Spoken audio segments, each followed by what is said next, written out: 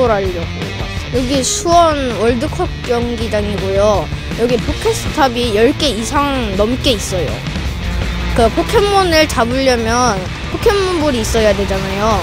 근데 그 포켓몬볼을 얻으려면 포켓스탑이 많은 곳으로 가야 돼가지고 여기로 오시면 될 것 같아요. 여기 복귀스탑 러닝했어요. 복귀만 찾아 왔어요.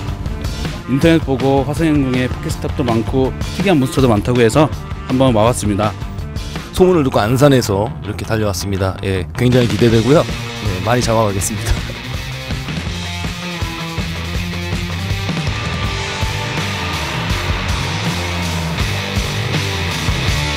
포켓스탑이 많아가지고 아이템을 좀 많이 먹을 수 있어가지고 집에 오게 됐고요.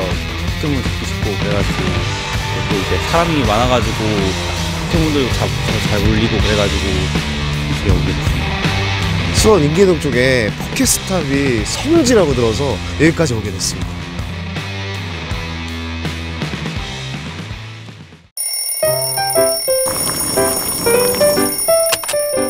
여기는 수원 ITV